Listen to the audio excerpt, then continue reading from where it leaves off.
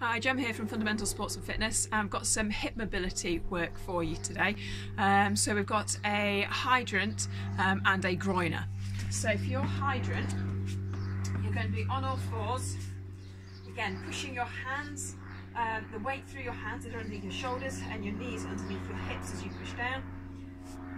And the hydrant just takes up and back down, and your opposite legs.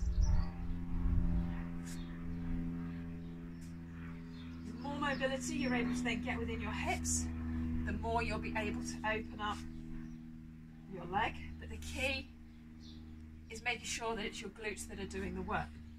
Then for your groiner, you're going to extend um, so you're onto your toes, hands um, underneath your shoulders as we've had them before, and you're bringing your leg round to your hands.